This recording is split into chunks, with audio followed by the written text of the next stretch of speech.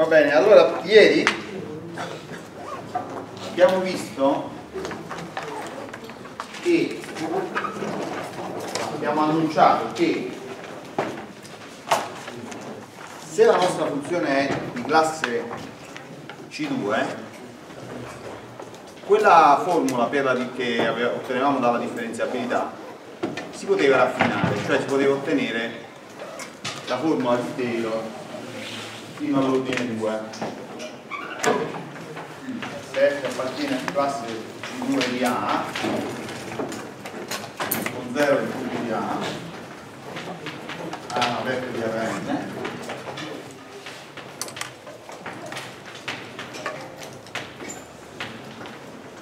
la cosa importante è che sia di classe eh, C2 in un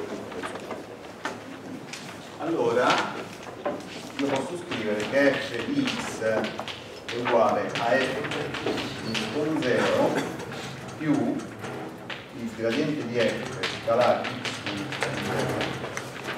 più oh, fino a qua era la differenziabilità poi qua c'è la piccolo di norma di x meno x con 0 poi io voglio vedere che in realtà posso scrivere anche quest'altro pezzo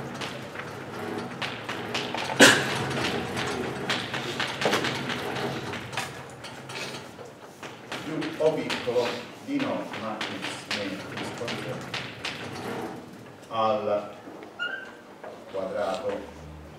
Eh?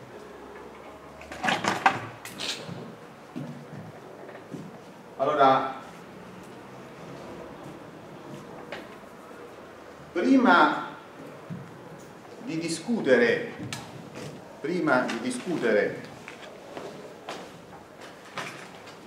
perché questo sia vero, quindi prima di fare una dimostrazione ancor, ancorché incompleta, cioè non, non, riusciremo a fare una dimostrazione completa a questo stadio perché ci manca eh, lo jacobiano la funzione composta, insomma qualcosa che potremmo intuire, ma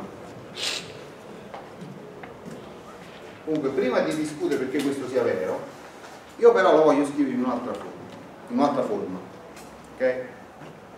Questa stessa forma voglio scrivere un altro modo perché sa sarà quello il modo che dimostrerò. Lo voglio scrivere così. F di x uguale f x con 0 più somma modulo di p uguale a 1 dp f calcolato in x con 0 per x meno x con 0 alla p questo poi spieghiamo che cos'è.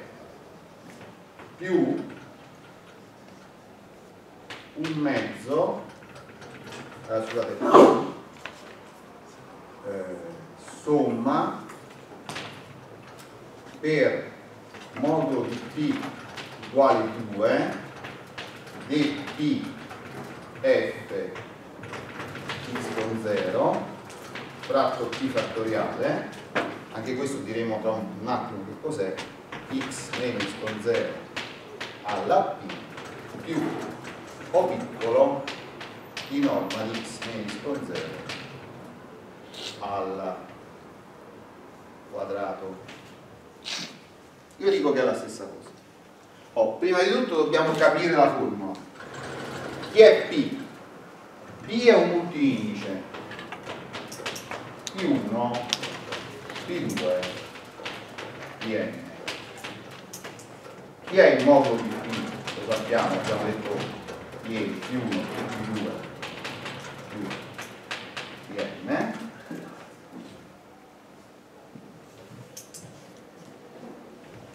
Chi è P fattoriale?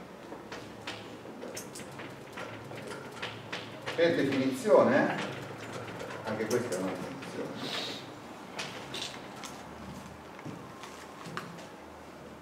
uh, è P1 fattoriale per P2 fattoriale per Pn fattoriale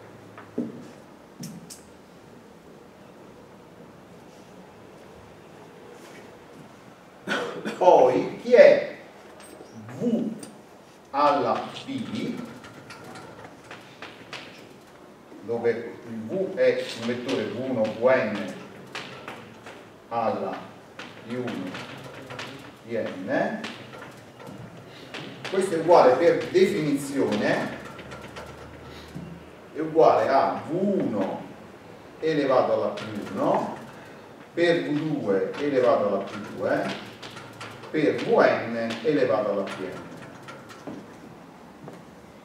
Ovviamente quando uno, qualcuna di queste eh, indici del multi-indice fosse 0 eh, elevato alla 0 si intende uguale a 1 indipendentemente dalla base anche se la base fosse 0 si mette uguale a 1 chiaro? Oh. andiamo a vedere andiamo a vedere che semplicemente ci andiamo a fare un conto andiamo a sviluppare la formula di sotto e a far vedere che viene esattamente la stessa cosa di sopra ok?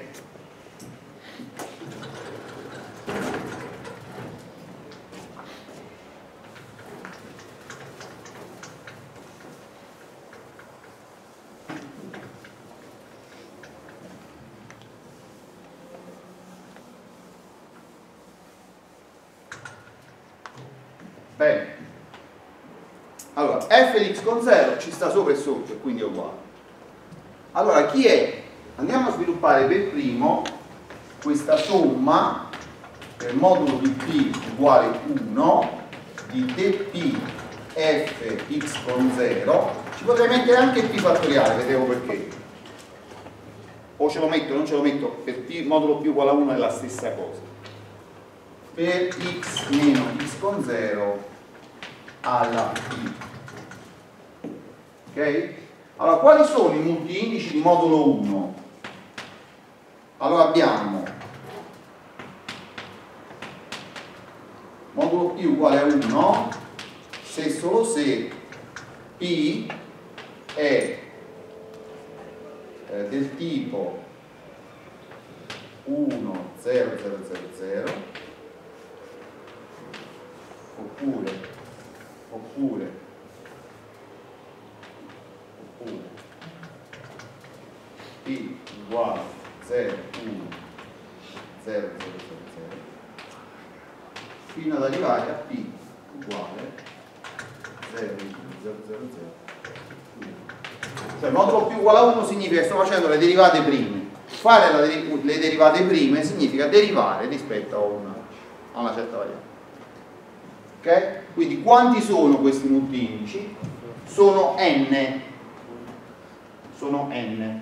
Sta quello, la derivata rispetto a, questo qua è la derivata rispetto a x con 1, questa è la derivata rispetto a x con 2, questo corrisponde alla derivata rispetto a x con n. Ci siamo fino a qui? Ok, quindi qua abbiamo questa somma corrisponde al sommatorio per i che va da 1 fino a n. Allora, quando prendo il biesimo di questi multi indici corrisponde esattamente alla derivata di f rispetto a x con i punto x con 0 poi uno dice diviso p fattoriale ma p fattoriale secondo voi quando fa? 1 perché sono o 0 fattoriale o 1 fattoriale quindi sono fatti tutti 1 quindi p fattoriale non c'è perciò ho detto in questo caso ci si può mettere o non ci si può mettere e poi cosa devo fare? per esempio se io faccio x meno x con 0 alla 1 0 0 0 cosa mi viene? Mi viene x con 1 meno x 0 1 o no? perché? perché la prima componente di questo vettore è elevata alla 1 tutte le altre non ci stanno perché sono elevate alla 0 quindi qua mi viene x con i meno x 0 e ho finito e questo chi è? non è esattamente il gradiente di f di x con 0 scalare x con 0 quindi come vedete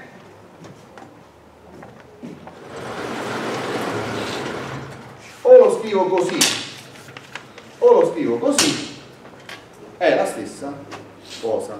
È un altro modo di scriverlo.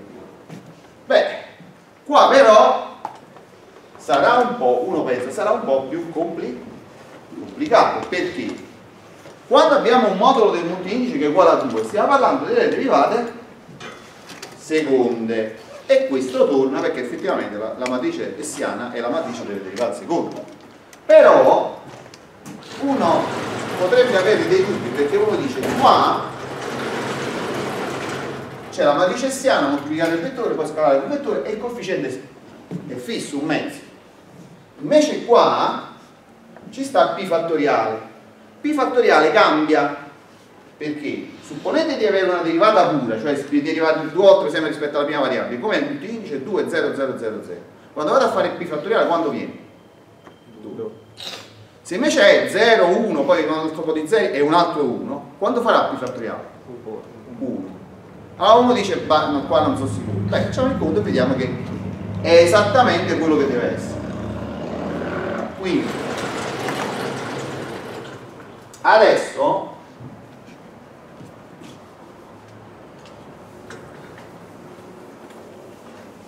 andiamo a vedere come sono fatti i moduli, i multi-indici di modulo 2.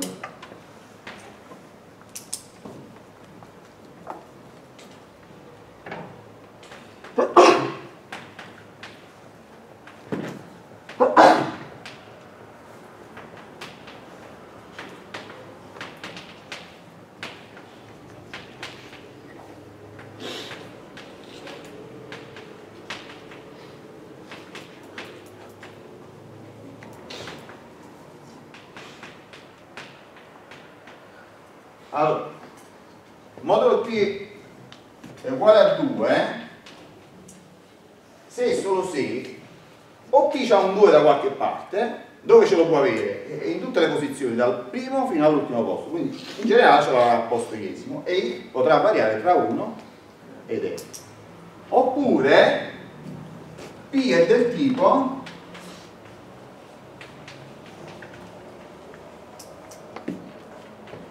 0, 0, 0, poi c'è un 1, poi di nuovo 0, poi c'è un altro 1, poi di nuovo 0 e tutti 0. Oh, questo 1 lo mettiamo al posto iesimo questo 1 lo mettiamo al posto j-esimo. Quindi, come sarà la situazione? Qua sarà la situazione i maggiore o uguale di 1 minore di J perché non posso metterlo allo stesso posto uno viene prima, uno viene dopo quello che viene prima abbiamo chiamato I, I quello che viene dopo l'indice abbiamo chiamato J minore o uguale di N quindi quando vado a fare un mezzo un mezzo eh, scusate, quando vado a fare dp allora somma per modulo p uguale 2 dp f x con 0 fratto p fattoriale per x meno x con 0 alla p. Cosa devo fare? devo fare due somme. Prima la somma sui punti indici di questo tipo e poi la somma sui punti indici di questo quindi qua devo fare la somma per i che va da 1 a n. Quando il multi-indice è di questo tipo qua la somma va per i che va da 1 a n e, e c'è 2 al posto esimo cosa significa che devo fare la derivata seconda di f fatta rispetto a x con i due volte nel punto x con 0 per cosa devo moltiplicare? Oh, poi devo dividere per p fattoriale che fa 2 e poi però per cosa devo moltiplicare? questo diviso 2 lo scrivo fuori un mezzo e poi per cosa devo moltiplicare? quando vado a fare l'elevamento a potenza. X con 1 meno x 0 1 non c'è perché la vado alla 0 il secondo non c'è perché la vado alla 0 x con i meno x 0i c'è ma non è solo elevato alla 1 è addirittura elevato alla 2 quindi corrisponde esattamente a questa sommatoria. Poi però c'è un'altra sommatoria, la sommatoria relativa agli indici di questo tipo. Allora, questa è una sommatoria doppia, perché qua variano sia i che j, quindi devo fare la sommatoria per i che va da 1 a n meno 1, perché n non può essere, perché se no j non c'è posto, per la sommatoria per j che va da i più 1 fino ad n, perché j deve essere maggiore di i, quindi nel momento che ho fissato i, j può variare in qualunque posto che vada dall'i più unesimo fino all'ennesimo. Di che cosa? Adesso devo fare, quando vado a fare le derivate, le derivate mi corrispondono, mi eh, compaiono in corrispondenza degli indici i e j, e sono entrambe derivate una volta, quindi in totale ho la derivata seconda di f fatta rispetto a x con i e a x con j nel punto x con 0 per che cosa? per x con i meno x0i per x con j meno x0j uno dice ma non ti sei dimenticato niente ti sei dimenticato p fattoriale no, p fattoriale non lo sono dimenticato perché poco chiaro? perché quando andate a fare p fattoriale poi viene 0 fattoriale vengono tutti 1 1 fattoriale poi vengono 1 il prodotto ok?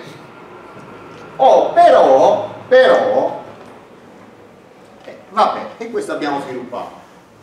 Questo pezzo e questo pezzo. Allora per confronto andiamo a sviluppare sopra adesso.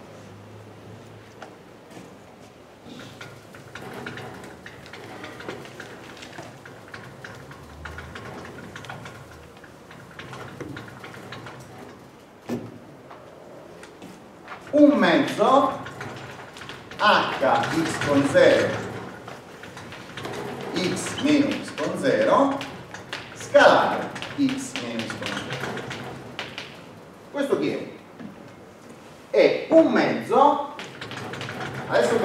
laço 1.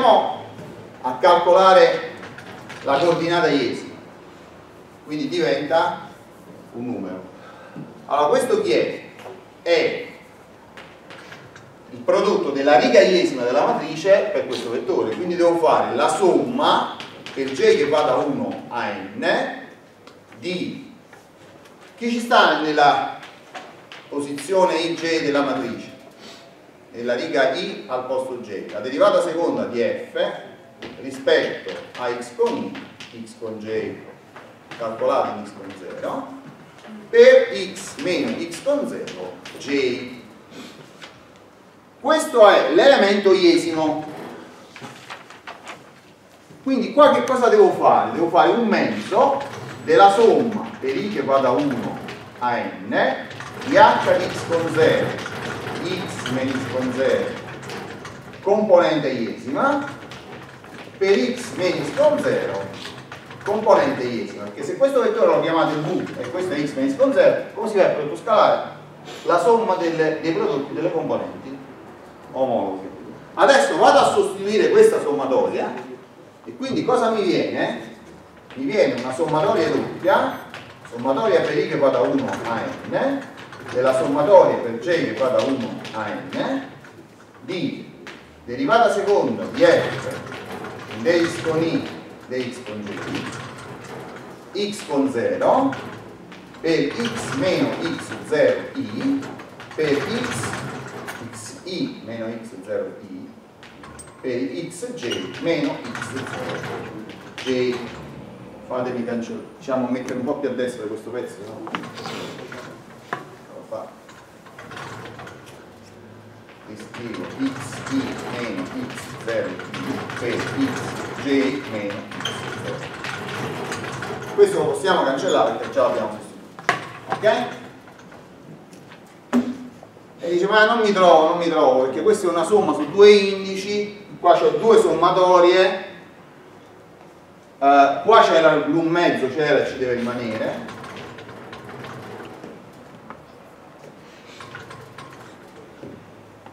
ok? Eh, però se guardiamo con attenzione io qua posso spezzare questa sommatoria in due pezzi. Una è quella quando i è uguale a j. Cosa mi viene? Quando i è uguale a j viene sommatoria per i che va da 1 a n, eh? Derivata seconda di f dx con i due volte, perché qua c'è dx con i, dx con i. Qua c'è x con i meno x0 i al quadrato. Ah, però è una sommatoria uscita. Poi devo fare più la sommatoria un mezzo della sommatoria per i che va da 1 a n eh? della sommatoria per j che va da 1 j diverso da i. J uguale 1 n però soltanto i j diverso da i della derivata seconda di f rispetto a x con i rispetto a x con j calcolata in x con i meno x0i eh, scusate, calcolate in x con 0 per x con i meno x0i per x con j meno x0 spero che la videocamera inquadri fino a qua comunque eh, uno dice no no però non ti trovi vedi vedi la somma è la stessa però qua c'hai un mezzo e qua c'hai uno. No? mi trovo perfettamente perché? Perché questa doppia sommatoria è fatta su I la somma esterna. La somma interna è fatta su J diverso da I invece questa sommatoria è fatta su J maggiore di. Facciamo un esempio. Prendiamo l'indice 0, 1, 1, 0, 0, 0 questo corrisponde alla derivata rispetto a x con 2 e rispetto a x con 3 derivata di seconda fatta rispetto a x con 2 rispetto a x con 3 in questa sommatoria qua ci compare una volta sola. Quando i è uguale a 2 quando j è uguale a 3 in questa sommatoria qua ci compare due volte due volte. Perché?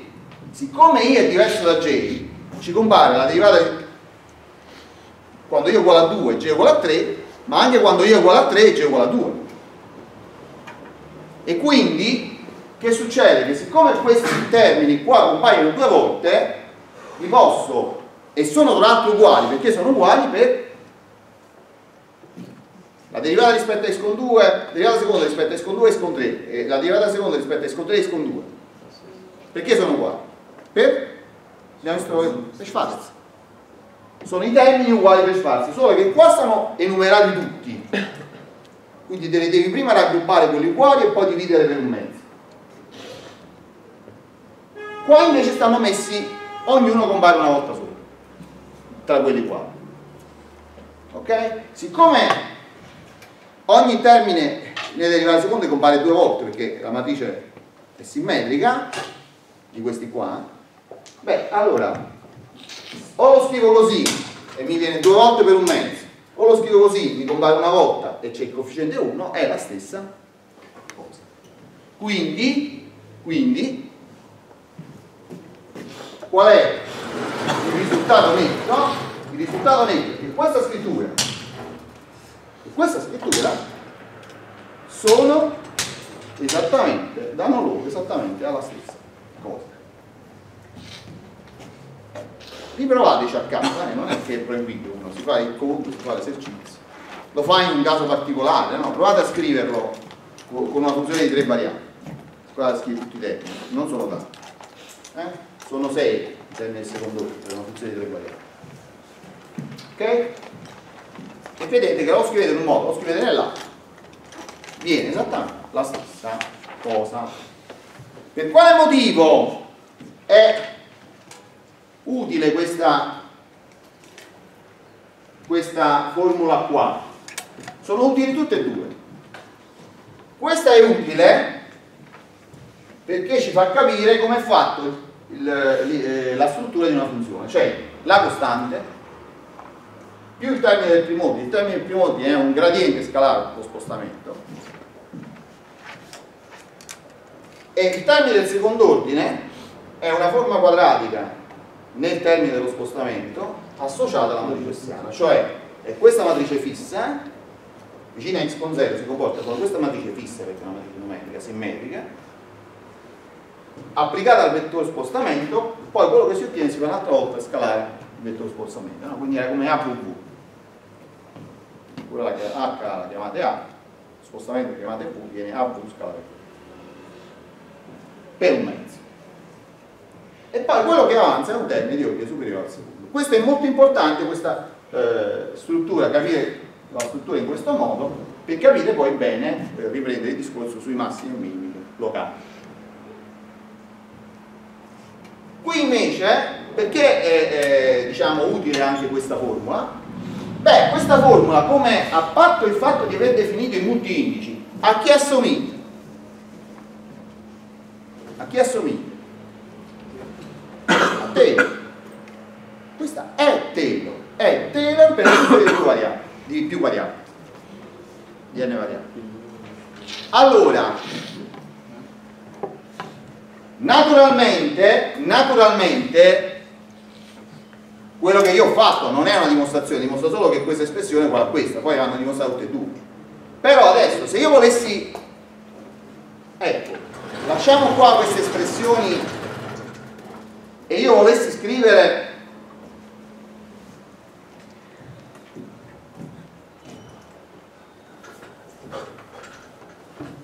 e io volessi scrivere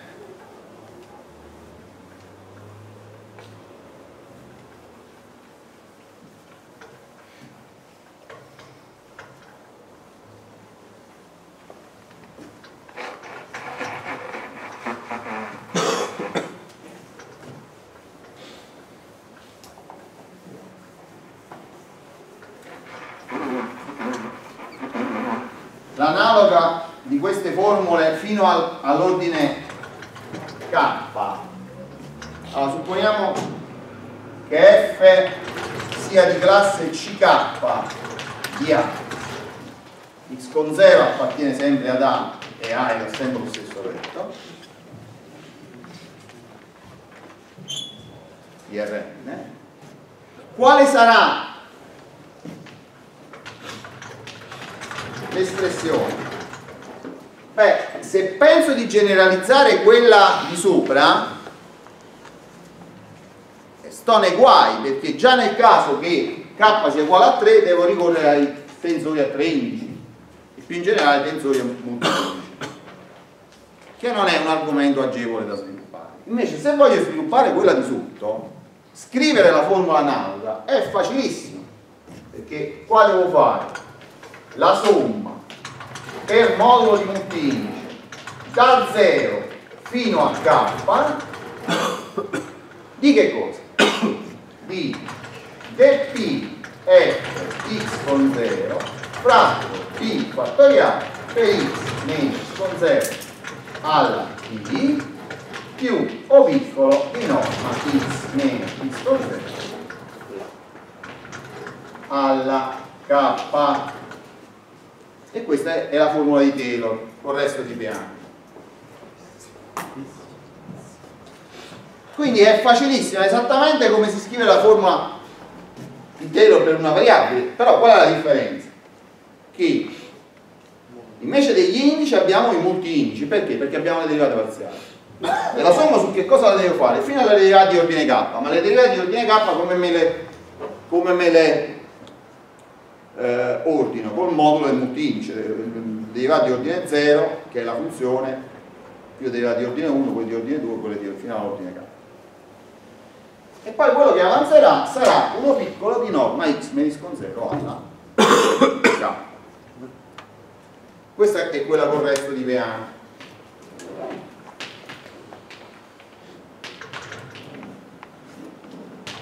Se la voglio con il resto di Lagrange, ovviamente l'ipotesi deve essere che f sia di classe ck più 1 in A, allora potrò scrivere f di x uguale somma per modulo del multiindice p che va da 0 fino a k dp f di x con 0 fratto p fattoriale per x meno x con 0 alla k più somma per p modo multiplico p uguale k più 1 di dp f x con 0 fratto t fattoriale eh, scusate non in x con 0 questo in xi per x meno x con 0 alla k dove xi chi è?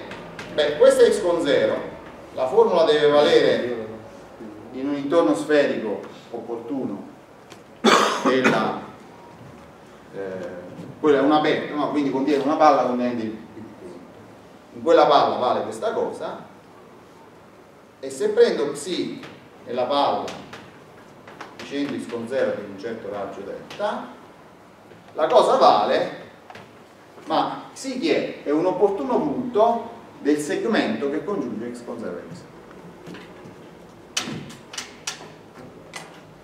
quindi xi è esattamente la stessa cosa vi ricordate? La derivata k più unesima si calcolava in xi, dove xi era punto intermedio tra x con 0 e x. Si scriveva fratto k più 1 fattoriale per qua alla, k, alla p.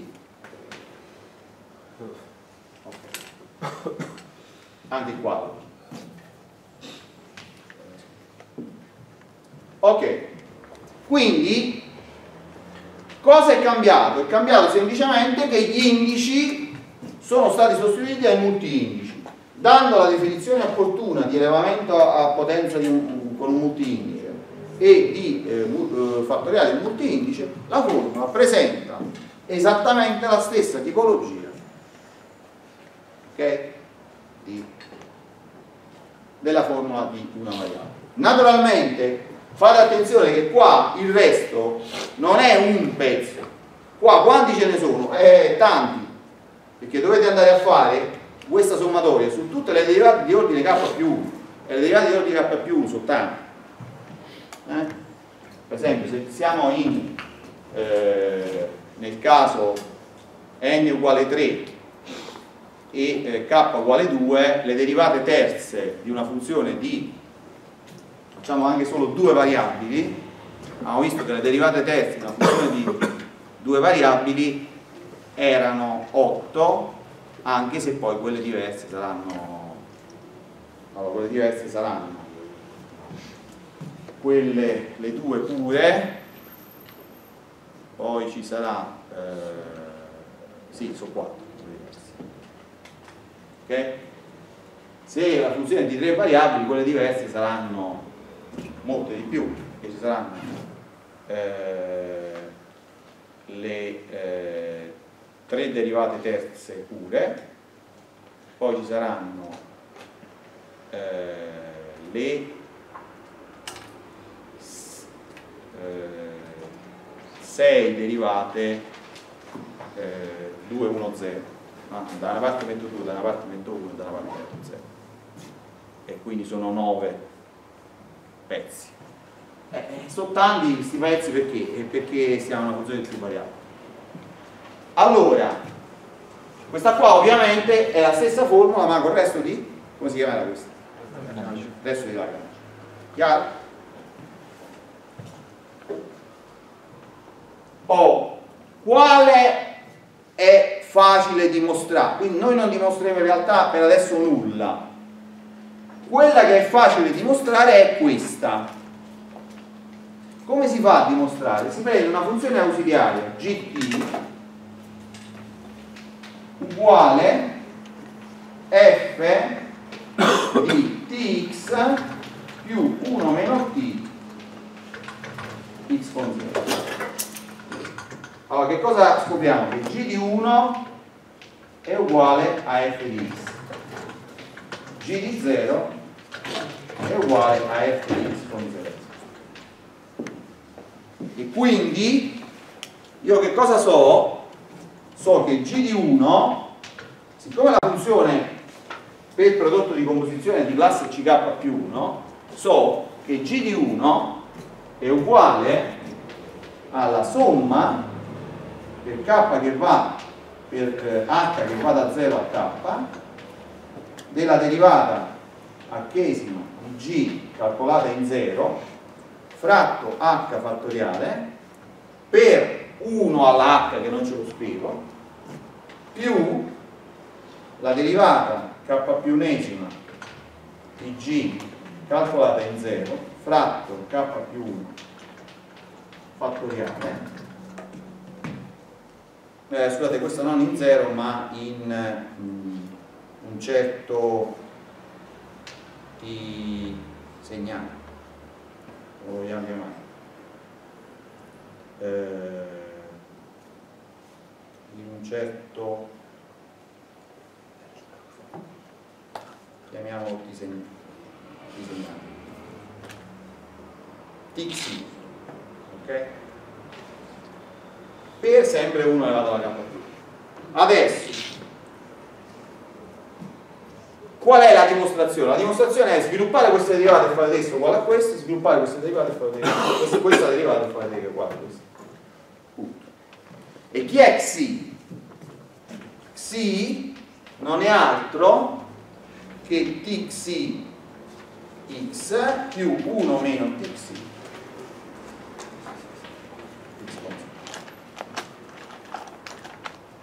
ok?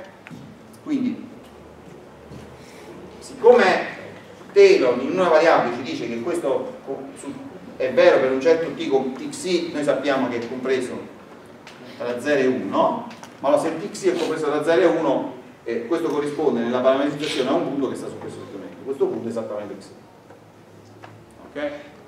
quindi se io sviluppo queste derivate e faccio vedere che eh, la derivata archesima è uguale alla somma per, corrisponde esattamente alla somma quando qua modulo di P è uguale a beta ci sta il blocco di queste per ovviamente ci deve venire questo anche questo pezzo e se faccio questi sviluppi e faccio vedere che questo corrisponde a questo sto, sto a posto. Però per fare questo ci vuole la regola eh, di derivazione della funzione composta per le funzioni più variabili cioè praticamente dobbiamo capire come si va a eh, calcolare eh, come si vanno a calcolare la matrice delle derivate prime per una funzione che va da Rn in Rm in generale quindi dobbiamo parlare dello Jacobiano questo lo faremo dopo caso ci vuole una, un piccolo teorema non abbiamo fatto. Ok? comunque il concetto sarà questo. Sviluppare questo e far vedere che è uguale a questo. Sviluppare questa e far vedere che è uguale a questo. Quindi è un calcolo, è un calcolo puramente aggiunto ora uno cosa potrebbe fare invece? Dico questo e poi facciamo pausa. Uh, uno cosa potrebbe fare dice ma corrisponde questo a quello che hai scritto prima? Certo che corrisponde mettiamo k uguale a 2 allora modulo di p uguale a 0 chi è? l'unica derivata zeresima della funzione quindi qua là mi viene f di x con 0 fatto 0 fattoriale farà tutto quanto alla 0 che fa 1 mi viene f di x con 0 quindi termine con p uguale, modulo p uguale a 0 viene f di x con 0 termine con p uguale a 1 l'abbiamo visto, modulo p uguale a 1 abbiamo visto viene gradiente di f con 0 scalare x meno x con 0 termine con p uguale a 2 viene un mezzo hx con 0 x meno x con 0 scalare x meno x con 0 e poi ovviamente ci stanno se k è maggiore di 2 ci saranno anche altri è chiaro? Oh, quindi facciamo un piccolo riepilogo prima di fare pausa uh, con una fatica non esagerata, cioè si capisce che le funzioni di più variabili sono più complicate perché io ho più possibilità di derivare, no? E quindi quando vado a fare derivate, non ho la derivata e basta, non ho le derivate parziali, eccetera. Si capisce che ci sono pure dei problemi, perché eh, vi ricordate il teorema del differenziale totale? Io non mi basta l'esistenza delle derivate parziali, la funzione può anche non essere neanche continua quindi ci vuole qualcosa in più però se è C1 va bene allora questi problemi noi li risolviamo di volta in volta se vogliamo eh, eh, diciamo analizzare il comportamento della funzione usando le derivate fino all'ordine k basta che sia di classe CK eh? se è di classe CK cioè un po' di più di quello che supponevamo in molti teoremi di analisi 1 noi diciamo esiste la derivata prima per esempio eh, teorema di Cauchy. Non supponevamo che la funzione fosse di classe C1 noi dicevamo soltanto la funzione eh, è continua fin sul eh, tutto l'intervallo chiuso ed esiste la derivata prima nei punti interi basta. Se dicevamo che era C1 in tutto l'intervallo stava a posto. Era molto di più era, no molto, un po' di più. Qua per evitare problemi teorici noi quando prendiamo le derivate fino all'ordine k supponiamo praticamente sempre che siano anche continui ok? ci mettiamo in un aperto così non abbiamo manco problemi. Quando ci mettiamo su, su un chiuso, sulla chiusura di un aperto andiamo a specificare qualcosa ma se no, fino a che l'insieme aperto eh, eh, le funzioni sono di classe CK sappiamo che possiamo tutto il comportamento della funzione fino all'ordine K incluso dipende soltanto dal comportamento diciamo, che l'ha fatto vicino a x con 0 localmente dipende soltanto dal fatto di conoscere f e conoscere tutte le sue derivate fino all'ordine K eh? sta scritto qua chiaro? Se conosci anche che CK più 1 puoi dire qualcosa pure puoi avere pure il resto di in particolare però eh, queste formule ci piacciono perché sono facilissime da ricordare conoscendo Taylor d'analisi 1 questa formula abbiamo fatto vedere esplicitamente che coincide con questa quando k uguale a 2 perché? perché è più utile sarà più utile per capire il comportamento della funzione quando andremo a studiare il comportamento della funzione vicino a un punto stazionario, cioè dove il gradiente si annulla. No? Vedremo che una condizione necessaria affinché un punto possa essere di massimo minimo relativo eh, locale no? e eh, sia, sarà che il punto deve essere stazionario e poi quella eh, espressione là, se ci stanno delle, la funzione di classe C2, ci, ci farà capire quali possono essere delle condizioni sufficienti per avere un punto di massimo minimo analogamente a quanto si faceva in analisi 1 solo che in analisi 1 molto spesso, eh, vi ricordate i compiti, la derivata seconda non c'era nessun bisogno di studiare. Ok? In due dimensioni, perché eh, cioè, vabbè, quello era difficile fare la derivata seconda in una variabile, non sarà più difficile fare la derivata seconda per una funzione di più variabili. Sì, però è difficile pure fare le curve di livello per una funzione di più variabili mentre per una funzione di una variabile capire se la funzione per esempio se tu c'hai un massimo locale la funzione prima sa e poi scende quindi devi vedere solo che la derivata prima eh, a sinistra è positiva a destra è negativa per esempio. È già una condizione sufficiente affinché il punto sia di massimo no? prendi per esempio il valore assoluto il valore assoluto. Prima scende poi sale. Anche se non è derivabile nel punto sai però sai che continua. Quindi in zero c'è un minimo. Senza stare a fare derivate eh, diciamo, secondo.